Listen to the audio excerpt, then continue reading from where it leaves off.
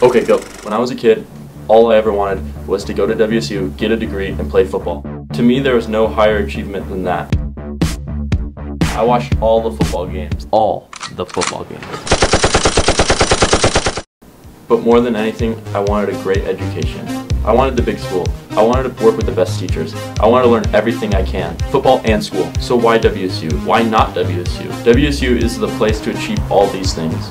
My first year here at WSU, I can tell you it's been the best year of my life.